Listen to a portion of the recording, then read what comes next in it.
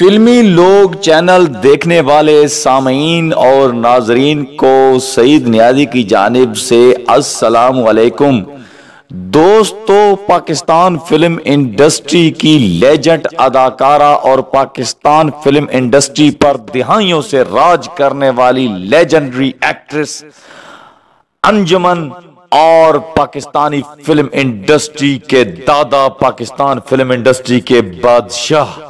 सुल्तान राही, जिनका नाम Guinness book of world record में भी दर्ज है, उनके दरमियान में होने वाली एक ऐसी बात, एक ऐसी बात जो आज तक आपने किसी से नहीं सुनी होगी, ये आपके साथ इस वीडियो में शेयर करेंगे। और मजीद बरा दोस्तों ये कि अदाकारा अंजुमन ने सुल्तान राही साहब के बारे में एक ऐसा राज उगल दिया। एक ऐसा राज उगल दिया कि आप जब उस राज तक पहुँचेंगे, जब आपको उस राज के बारे में इस वीडियो में पता चलेगा तो वाकई आप हैरान हो जाएँगे कि क्या सुल्तान राही साहब ऐसे भी थे। दोस्तों, पाकिस्तानी फ़िल्म इंडस्ट्री की लेजेंड एक्ट्रेस अंजमन, वो कहती हैं कि मैं सुल्तान राय साहब को बड़ा चिड़चिड़ाया करती थी। और वो कौन सी बात थी जिस बात थी जिसके ऊपर सुल्तान राय साहब इतने चिड़चिड़े हो जाते थे और वो दिल बर्दाश्ता हो जाते थे? दोस्तों, कहने का मकसद कुछ यूँ है। असल स्टोरी की तरफ़ आते हैं कि एक निजी इंटरव्यू में अदाकारा अंजमन ने अपने सामीन और नाजरीन को यह बताया कि अक्सर मैं सुल्तान राय साहब को फ़िल्म के सेट के ऊपर चढ़ाया करती थी। और वो कैसे चढ़ाया करती थी? सुल्तान राय साहब की अदाकारा अंजुमन हर फ़िल्म में ही तकरीबन हीरोइन हुआ करती थी।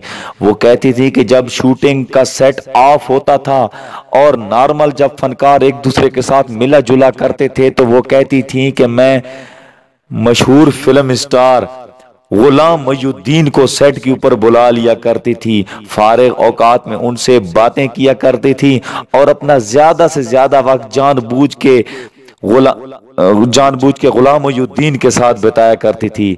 दूर बैठे सुल्तान राय साहब मेरी इन हरकतों से बहुत ज़्यादा दिल बर्दाश्त दिल बर्दाश्त हुआ करते थे और वो दिल ही दिल में बहुत परेशानी महसूस किया करते थे और वो अपनी चिड़चिड़ापन शो किया करते थे। वो कहते थे, मैंने बारह सुल्तान राय साहब को ऐसे ही चढ़ाया, क्योंकि वो कहती हैं कि सुल्तान राय साहब मुझसे बेहद मोहब्बत करते थे, और मैं ना सिर्फ़ उनकी फ़िल्मों की भी हीरोइन हुआ करती थी, बल्कि वो हकीकी तौर पर भी मुझे अपनी हीरोइन ही समझा करते थे।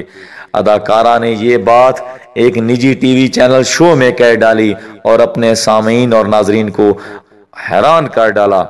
मजीद अंजमन ये भी बताती हैं कि वो जब पाकिस्तानी फ़िल्म इंडस्ट्री के उस दौर में थी, जब सुल्तान राय साहब जैसे लेजेंड और नामवर अनकार, फनकार पाए जाते थे, उस वक्त अंजमन के हुस्न का ये आलम होता था कि वो हर एक की दीदा नज़र हुआ करती थी। तो सुल्तान राय साहब इसलिए अंजमन से ज़्यादा पोजेसिव हुआ करते थे। दोस्तों, कैसी लगी आपको ये वीडियो? इस तरह की मालूमती और दिलचस्प वीडियो देखने के लिए मेरे चैनल को ज़रूर सब्सक्राइब करें। नेक्स्ट वीडियो में दोबारा आपकी खिदमत में हाजिर होंगे। तब तक इजाज़त दीजिए। अल्लाह हाफिज।